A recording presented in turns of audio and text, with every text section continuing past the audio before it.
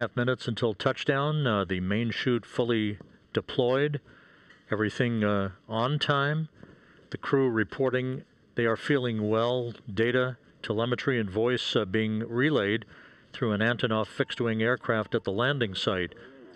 Russian Mi 8 helicopters are now uh, in a racetrack pattern, uh, ready to greet the crew following touchdown.